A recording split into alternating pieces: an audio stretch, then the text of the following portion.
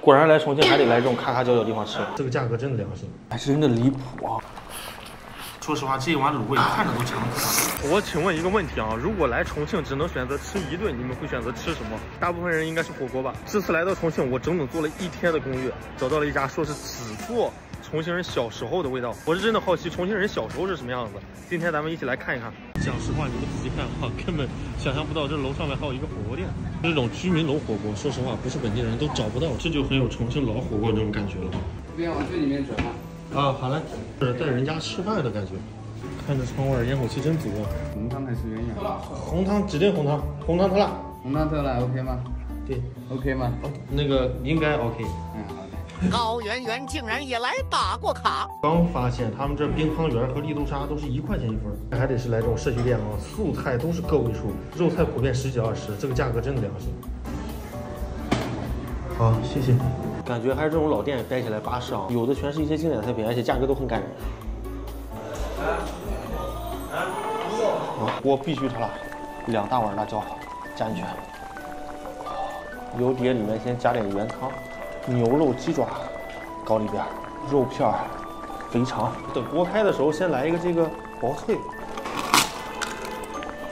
这东西有一点莫名的好吃，油香油香的。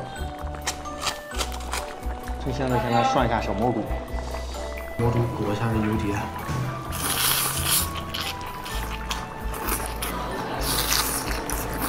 哇，真的爽！主要是这个底料是真的香，就这肥肠和牛肉的软烂程度。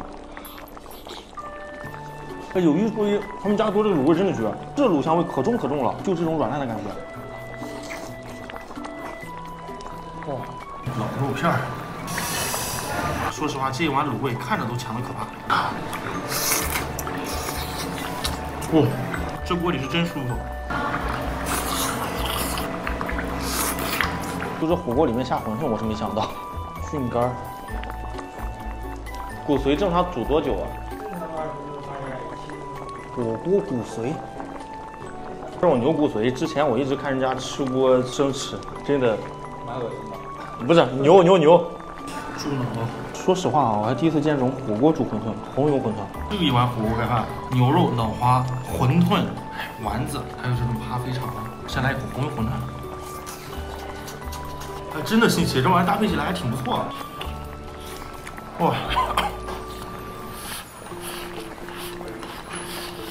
肥肠和起一口饭，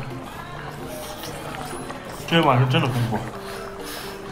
我觉得这才算是火锅的终极吃法。纯蛋黄的丸子，这吃起来好绵密啊，巨好吃这东西。流心蛋黄，口感沙沙的，这好绵密啊，口感。这骨髓，骨髓可以那么长？吃了半天我都忘记还有这卤鸡爪了。就这鸡爪煮的软烂程度，你们看都快断节了。